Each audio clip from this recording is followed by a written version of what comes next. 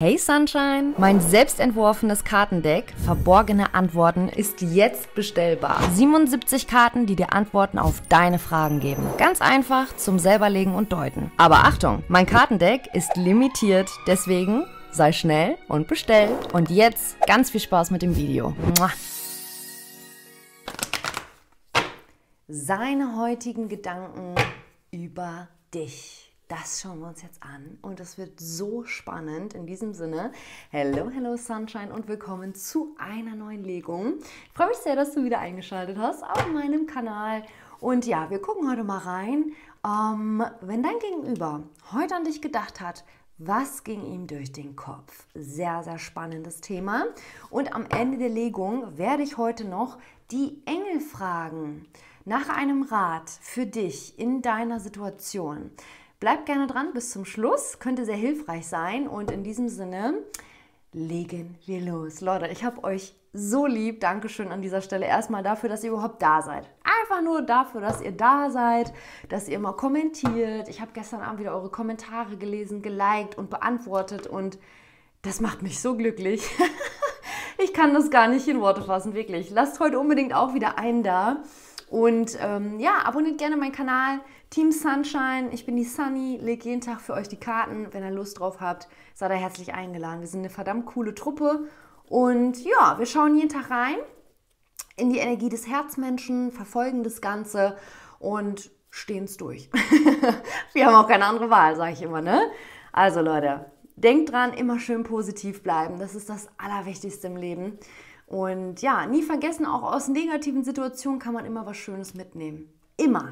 Ja, es gibt viele Leute, die sagen, nein, nein, nein, nein, doch, doch, doch, doch. Irgendwann lernt man das. Irgendwann kommt man dahinter. Also, du und er, seine heutigen Gedanken. Ich bitte um klare Botschaften, klare Botschaften bitte für mein Team Sunshine.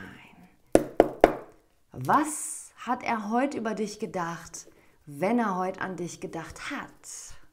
Bitte bedenkt, immer schön gucken, ob ihr in Resonanz geht, ob die Botschaft heute für dich ist oder vielleicht für jemand anderen. Aber ich sage immer, wenn man auf so ein Video draufklickt, ja, es wird einem zum Beispiel zufällig angezeigt oder so, dann hat das schon seinen Grund. Hier ist irgendetwas, ja, was du heute vielleicht hören darfst. Was dich weiterbringt, was dich inspiriert und wenn es nur ein einziger Satz ist. Ja, also schaut, ob ihr in Resonanz geht. Wenn ihr eine private Legung äh, braucht, dann schaut in meinem Shop vorbei. Dort könnt ihr die online buchen. Da fragen auch immer viele nach. Ähm, die packt ihr einfach in den Warenkorb, schreibt euer Thema dazu und dann bekommt ihr ein Video genau wie hier auf YouTube. Aber da geht es nur um dich und deine Situation. Ja? Also, wir starten rein. Meine Lieben, seine heutigen Gedanken wenn dieser Mensch heute an dich gedacht hat, welche Energie war dann präsent? Oh, oh, mir kommt's rein. Dieser Mensch lässt sich Zeit. Er lässt sich Zeit. Er weiß, er spielt auf Zeit. Er hat sich vielleicht schon zu viel Zeit gelassen, kommt mir rein. Ähm, er ist in seinem Kopf gefangen. Dein Gegenüber hat sich verstrickt. Der ist irgendwann, oh, jetzt muss ich ganz doll schlucken gerade. Das könnte auch ähm, wieder diese gechannelte Energie sein. Dein Gegenüber, ja, ist schon lange, lange, lange im Kopf unterwegs, was dich anbelangt. Äh, macht sich viele Gedanken, überdenkt das Ganze, zerdenkt das Ganze, kommt mir rein, ja. Ähm, hier sind Gefühle, der weiß die aber nicht zu ordnen und mich lacht hier das Ass der Münzen an, das gibt's ja gar nicht. Hier ist eine große Chance. Hier ist eine Chance im Universum, im Kosmos, im, wie auch immer man es nennen möchte, ja, woran du glaubst. Das Ass der Münzen, seht ihr das, wie, wie das leuchtet? Hier ist eine große Chance auf Wachstum, dass das mit euch hätte fruchten können oder noch fruchten kann. Ja? Dein Gegenüber ist aber so ein bisschen verstrickt. Siehst du all die Kelche? Kelche im Tarot stehen für Gefühle. Hier sind gemischte Gefühle, beziehungsweise dein Gegenüber weiß nicht, was er mit diesen Gefühlen anstellen soll. Ja? Er lässt sich Zeit, es ist Wahnsinn. Sieben der Kelche und sieben der Münzen. Er ist in der siebener Energie. Die sieben Mit den sieben der Münzen sehen wir auch hier das Wachstum, genau wie beim Ast der Münzen. Nur, dass hier jemand ja, auf Zeit spielt, beziehungsweise viel Zeit braucht. Dieser ganze Prozess zwischen euch, habe ich das Gefühl, wird blockiert durch ihn, stockt wegen ihm, äh, weil er sich Zeit lässt, weil er nicht in Gang kommt. Sagen wir es einfach so, er kommt nicht in Gang. Ja? Stell dir vor, du und er, ihr seid draußen auf dem Feld. Jeder hat so seine Hälfte und ihr habt beide eine Handvoll Samen. Ja?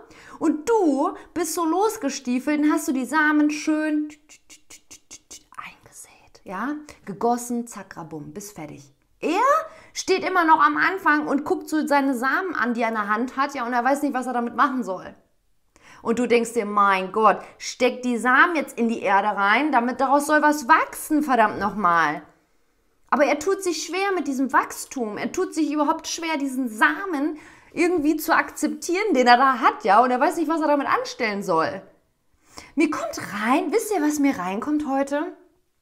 Dieser Mensch weiß nicht, mit Liebe umzugehen. Das ist wie wenn du Samen in der Hand hast und du bist kein Gärtner und du hast keine Ahnung, was soll ich jetzt machen mit diesen Samen? Was macht man damit? Weiß ich nicht. Ja? Und so ist es mit ihm, mit Gefühlen, mit der Liebe. Was mache ich denn jetzt mit diesen ganzen Gefühlen, die ich habe für sie? Dieser Mensch hat Gefühle für dich. Hier ist nur schon lange Zeit so eine schwebende Situation zwischen euch beiden, weil der nicht weiß, was der mit diesen Gefühlen anstellen soll. Kann sein, dass er entweder ja ein verletztes Herz hat aus einer vergangenen Beziehung oder aber generell so ein bisschen mm, ist, was Gefühle angeht, ja, vielleicht so ein bisschen Bindungsangst kommt mir rein. Verweigert vielleicht auch Gefühle, will die nicht wahrhaben. Vielleicht sagt er sich, nee, hier ist kein Platz in meinem Leben für Gefühle. Ja? Hier ist quasi Stau auf der A2. Echt? Hier ist Stau auf A2. Der blockiert das Ganze. Er blockiert euer Wachstum. Und die Karten sagen mir, verdammt mich nochmal, hier ist Potenzial für Wachstum.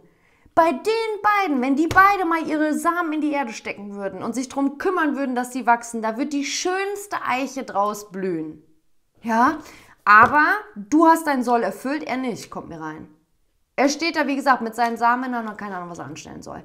Das ist die Energie. Der sitzt vielleicht, ich sehe, wisst ihr, was ich sehe, meine Lieben? Leute, oh, ich liebe das ja, unser Daily Date, ne?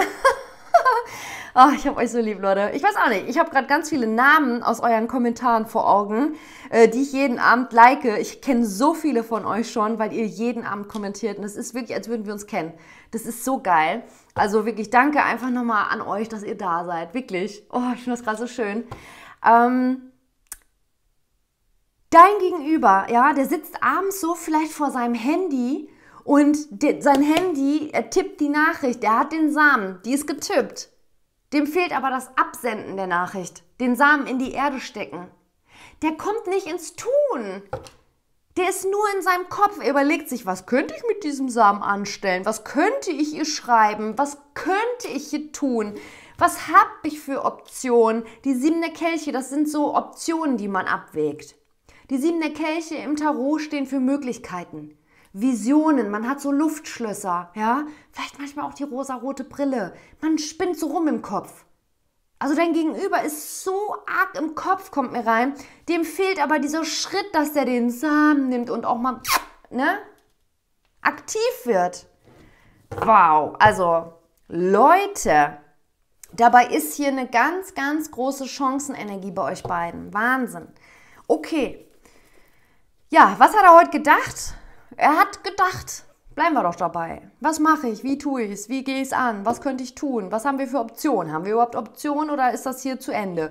Ja, nee, eigentlich schon, weil ich habe ja Gefühle. Aber was sind das für Gefühle? Ist sie meine Freundin oder ist sie eine feste Freundin? Will ich was mit ihr haben oder nicht? Ist sie nur eine Bekanntschaft oder Liebe? Ich kann das nicht. Ich, was ist das hier? Das sind die Dinge, die mir reinkommen.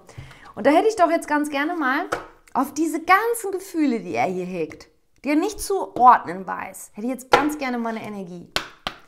Und alle meine Kartendecks, die ich benutze, genau wie mein wunderschönes eigenes, nachdem ihr immer fragt, ja, findet ihr unten in der Infobox oder aber auch unter dem Video. Da werden euch Produkte mit Bildern sogar angezeigt. Ähm, ja, die sind aus meinem Shop. Schaut da gerne mal vorbei. Vielleicht wollt ihr euch was gönnen, Leute. Da gibt es auch meinen wunderschönen Stimmungsring, der sich gerade verfärbt. Oh, der ist auch wieder auf Lager. Der war so lange ausverkauft meine Armbänder, Bergkristall, Reinheit, Leute, Klarheit. Wenn ihr viel im Kopf seid, wie zum Beispiel dein Gegenüber, Bergkristall, ja, der ist wie so ein Zauberschwamm, der saugt alle Energien auf, ja, und reinigt die Energie. Auch mega geil bei Kopfschmerz. Ähm, ja, schaut vorbei. Gerne, gerne, gerne. Ich hätte jetzt gerne eine Energie auf seine Gefühle, die er nicht sortiert kriegt, für dich. Seine Gefühle. Was für Gefühle.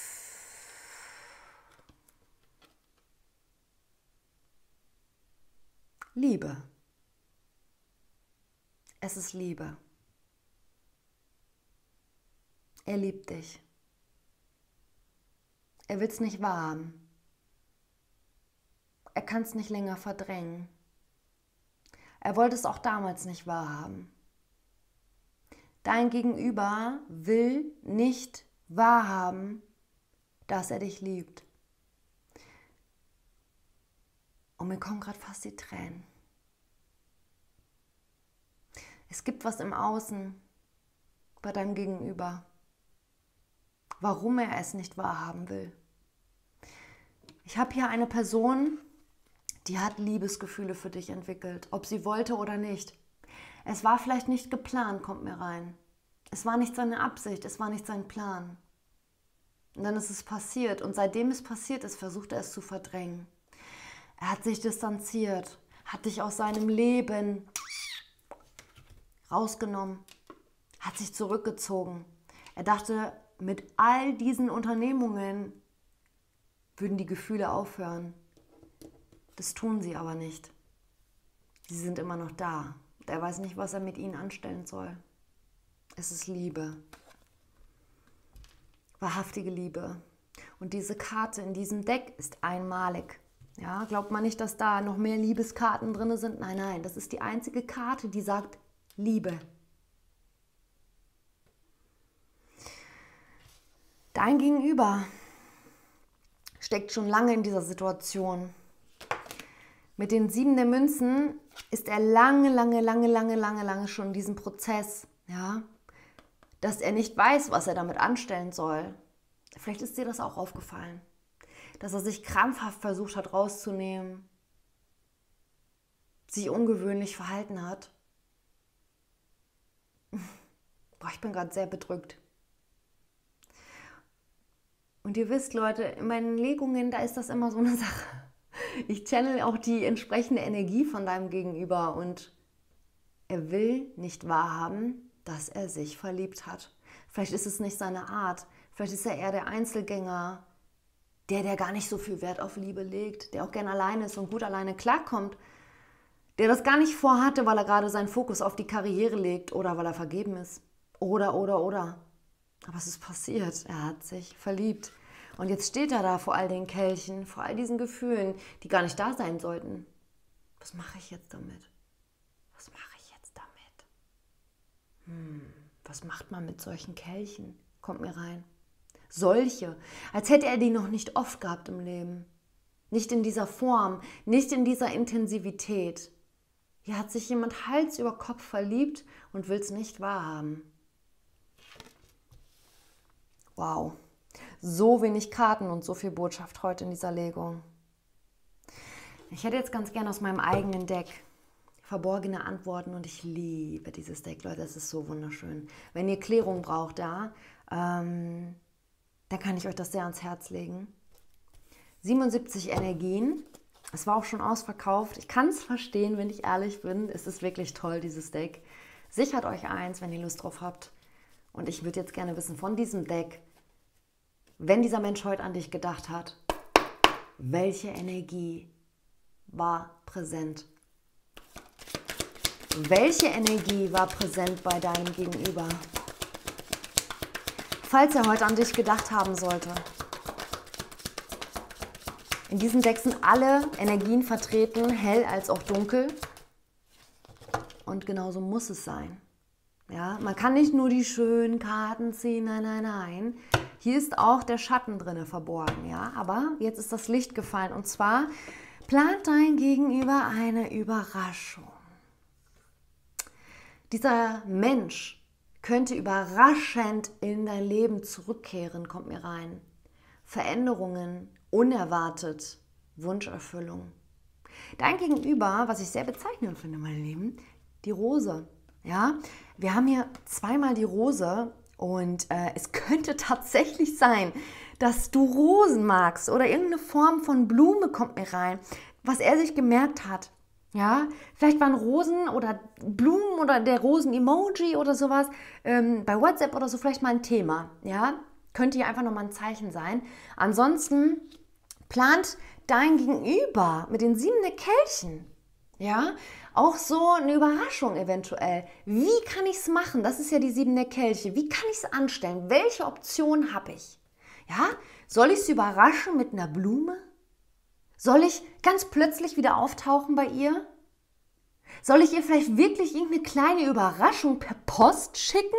Mir kommt rein, dass einige von euch wirklich irgendwas geschenkt bekommen könnten. Du, du, du gehst so zur Tür, es hat geklingelt, kriegst so ein Paket. Hä, ich habe doch gar nichts bestellt. Und dann ist da irgendwas drin, was du magst. Und es kommt von ihm, weil er weiß, wo du wohnst. Er hat es dir einfach geschickt. Heimlich. Und es könnte ein Running Gag sein, kommt mir rein zwischen euch beiden. Ja, vielleicht irgendetwas, wo er weiß, du magst das und du würdest es sofort mit ihm verbinden. So eine Überraschung könnte das sein. Oder es liegt einfach vor deiner Haustür, weil er es dort abgelegt hat. Ich habe hier aber für die meisten, dass er einfach plant, irgendeine Geste in deine Richtung zu machen. Es kann auch sein, dass die WhatsApp-Nachricht, die er schickt, ganz überraschend kommt. Ja, plötzlich. Also ich habe hier eine schnelle Energie. Jemand will dich überraschen, also jemand will dir eine Geste der guten Zuwendung bereiten. Also er ist dir gut zugestimmt. Er hat heute daran gedacht, irgendetwas vielleicht in deine Richtung zu unternehmen. Vielleicht etwas, damit das hier in euer Feld rücken kann. Ja, das Ass der Münzen, größte Glückskarte im Tarot, meine Freunde. Das ist eine ganz, ganz dicke, fette Chance, die hier liegt. Das ist ein Gewinn. Das ist für dich wie der Jackpot. Das, wenn das Ass der Münzen aufkommt, dann ist es für dich Beständigkeit, ein sicheres Angebot, etwas, worauf du dich verlassen kannst. Du kannst dem Braten trauen, kriege ich rein. Wenn der kommt und er reicht dir die Hand mit was auch immer, du kannst drauf setzen. Das ist hier ein ehrliches Angebot mit dem Ass der Münzen, Stabilität. Die Münzen bedeuten Fundament. Der Baum ist stark verwurzelt und ihr habt Wurzeln schon in der Vergangenheit geschlagen, meine lieben Freunde. Leute, wenn ihr in Resonanz geht heute, auf jeden Fall das Video auch liken, um dem Universum zu zeigen, yo, ich bin dabei. Und ihr dürft natürlich sehr, sehr gerne auch meinen Kanal abonnieren. Es ist kostenlos. Drückt auch auf diese kleine Glocke hier unten. Dann kriegt ihr sogar so eine kleine Benachrichtigung tatsächlich vorne aufs Display. Sunny hat eine neue Legung hochgeladen. Finde ich sehr, sehr cool. Und ähm, ich hätte jetzt ganz gerne mal einen Gedanken von deinem Gegenüber. Einen Gedanken von dieser Person. Was hat er heute gedacht? Einen klaren Gedanken hätte ich jetzt ganz gern. Wenn dieser Mensch an dich denkt, was geht ihm durch den Kopf? Eine klare Botschaft. Ich wusste es. Ich wusste es. Ich wusste es. Ich wusste es. Leute, hier ist schon wieder die Rose. Schaut euch das an. Synchronizitäten. Darüber habe ich auch ein E-Book in meinem Shop, könnt ihr euch gerne durchlesen. Er spielt mit dem Gedanken, sich bei dir zu melden. Message, eine Nachricht. Und Leute, ich darf euch heute mal was verraten. Ihr dürft sehr gespannt sein, denn eventuell habe ich demnächst ein neues Deck für euch. ja, ist ein kleiner Hint jetzt für alle, die bis hier geschaut haben. Die hören es jetzt gerade zum ersten Mal. Ähm, ja, macht euch schon mal ready. Eine Nachricht. Jemand will überraschend in dein Feld zurückkommen. Jemand spielt mit dem Gedanken, ähm, eine Nachricht abzusenden, sich bei dir zu melden. I'm thinking about reaching out to you. Ich denke darüber nach, mich bei dir zu melden. Wieder in dein Leben zu treten.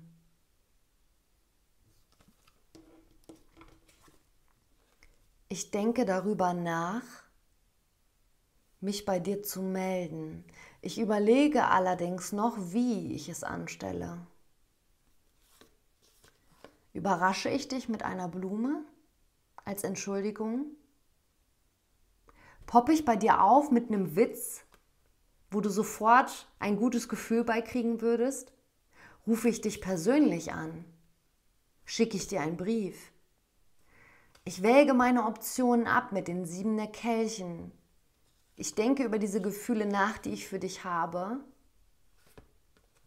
Und ich will dir schreiben. Ich will mich bei dir melden. Ich will, dass das hier nochmal ins Wachstum geht mit uns. Rosen, Leute. Rosen, Rosen, Rosen, rote Rosen. Was kommt dir in den Kopf, wenn ich rote Rosen sage? Rosen. Rot. Blumen. Duft. Romantik. Emotional. Intuitiv. Rotwein. Rote Unterwäsche. Roter Lippenstift. Rotes Auto. Okay, ich hätte jetzt ganz gern von den Lennys eine Energie, wenn dieser Mensch heute an dich gedacht hat. Was hat er gedacht? Eine Energie, die seine Gedanken beschreibt. Eine Energie. Und ich stoppe bei den Blumen. Oh Gott. Ich stoppe bei den Blumen. Das gibt's nicht. Das gibt's ja gar nicht. Die Blumen und diese Nachricht hier. Die Blumen und die Nachricht, das kann nicht wahr sein. Ich bin gerade einfach total irritiert. Ich war, ähm, weil das Deck, wieso lagen diese Karten so? Oh Gott. Die Blumen haben was zu sagen. Leute, Blumen. Ich sage es euch, Blumen könnten relevant sein. Vielleicht ist jemand Florist oder äh, weiß, dass du Blumen magst. So, die Karten, ja, sie passen. Da war gerade der Reiter. Äh, ist die Eins im, bei den Lennys, bedeutet Besuch. Ein neuer Zyklus, der anklopft. Witzig. Okay, ja. Hier nochmal bitte eine klare Energie. Ja, die Blumen haben sich gezeigt. Wow. Eine Energie, wenn dieser Mensch heute an dich gedacht hat. Was hat er gedacht? Seine Gedanken in Form einer klaren Energie hätte ich jetzt ganz gern. Eine klare Botschaft. Und da haben wir sie. Die Mäuse. Hier ist Verlust, Stress, Sorgen, Mangel, Krankheit. Und der Klee unterm Deck, dass sich das alles zum Guten wenden kann. Dieser Mensch ist in dieser Energie. Ja, ähm, dein Gegenüber, dem fehlt was. Dem fehlt Geld, dem fehlt Kraft, dem fehlt Mut, dem fehlt es an verschiedenen Dingen ähm, und du kannst mal schauen, ob du in Resonanz gehst. Vielleicht ist dir das bewusst, ja, dass dieser Mensch einen Mangel hat. Vielleicht auch ein Mangel an Ehrlichkeit kommt mir rein. Dieser Mensch hat dir vieles vielleicht vorenthalten, war nicht ehrlich, hat ähm, dir vielleicht sogar was weggenommen oder er ist einfach in dieser Mangelenergie. Wahnsinn. Vielleicht war das der Grund, warum es mit euch so ein bisschen ja, in die Dutten gegangen ist. Er hofft aber, dass sich äh, mit dieser Geste, die von ihm kommt, diese äh, überraschende und vor allem auch ganz plötzliche Aktion von ihm, ähm, sich das Blatt wenden kann, ja, weil wir haben hier wirklich einen Mangel. Ihr müsst euch vorstellen, das ist ein Riesenloch, was die Mäuse da reingefressen haben, ja, und der Klee wendet das Ganze dann doch zum Guten, ja. Er hofft hier auf etwas. Hier ist Hoff Hoffnung auf Glück, Hoffnung auf Veränderung zum Positiven. Aber mir zeigt sich hier die Königin der Schwerter unterm Deck. Ich habe das Gefühl, er weiß, darüber denkt er auch nach. Deswegen denkt er überhaupt so lange nach. Wow, drei der Schwerter unterm Deck. Er weiß, er hat dir das Herz gebrochen. Er weiß, du bist vielleicht gar nicht mehr offen. Er weiß, dass er das Loch, was sich hier reingefressen hat zwischen euch, ja, vielleicht gar nicht mehr stopfen kann. Natürlich hofft er da, ne? Auf was Gutes. Hier, Eiszeit, Legung von gestern, schaut sie euch an. Er hofft, er weiß es nicht.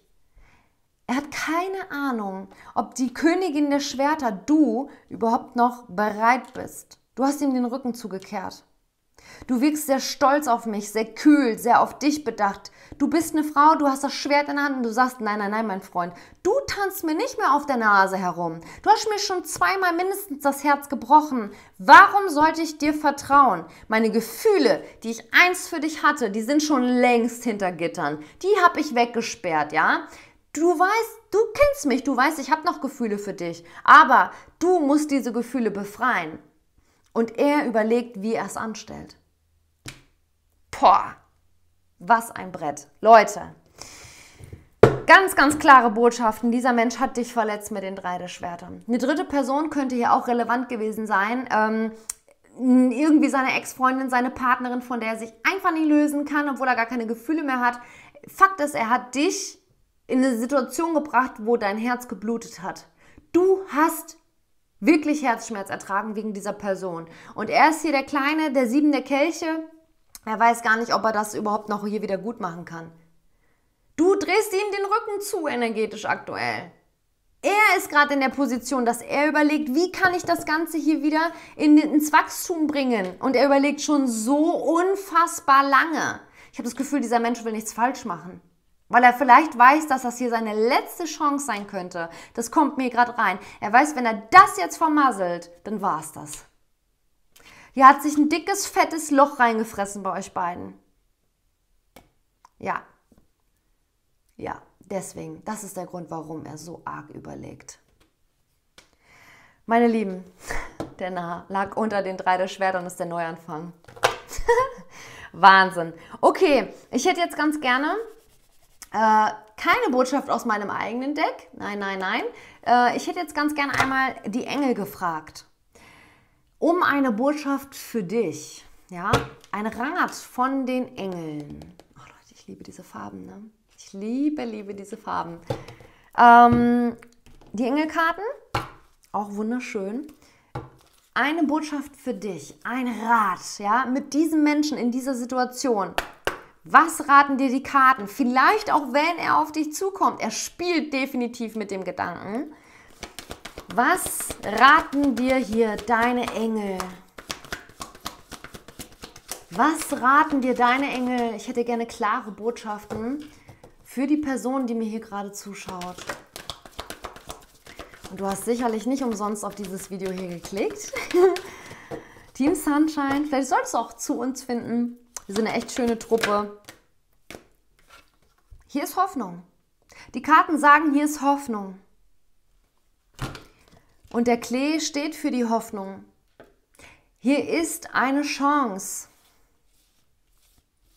Das Ass der Münzen liegt in unserem Blatt. Hier ist die Chance, dass man diesen Samen, ja, hier schließt sich der Kreis mit der heutigen Legung, diesen Samen, den er da in der Hand hält, mit dem er keine Ahnung hat, was er damit anstellen soll, dass dieser verdammte Samen eines Tages von ihm höchstpersönlich in die Erde gesteckt wird, ja, auch wenn viel Zeit vergeht, wenn er sehr langsam unterwegs ist, ja. Er nimmt den Samen, setzt ihn ein, gießt ihn und dann seht ihr das hier blüht er doch tatsächlich auf. Da kommen doch tatsächlich die Wurzeln daraus, ja, diese Keime. Es kann passieren, sagen dir die Karten. Glaube dran. Mein Lieben, das war die heutige Legung. Ich hoffe, ich konnte euch eine Freude machen. Das war die Botschaft, die ich heute raussenden darf. Abonniert gerne meinen Kanal, dann sehen wir uns auch morgen wieder.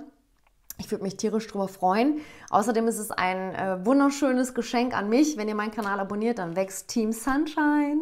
Ähm, ja, und ansonsten, wie gesagt, schaut gerne in meinem Shop vorbei. Vielleicht wollt ihr euch mal was Schönes gönnen. Eine private Legung, um einfach auch mal Antworten zu bekommen. Wie sieht es dann eigentlich aus, hier wirklich mal auf dich gelegt? Nicht auf YouTube, sondern nur auf dich. Ja, Ihr findet mich in meinem Shop. Klingt komisch, ist aber tatsächlich so. Ansonsten wünsche ich euch einen wunderschönen Abend. Ähm, Tarot soll inspirieren, niemals vergessen. Und ja, in diesem Sinne, Leute, always smile and shine.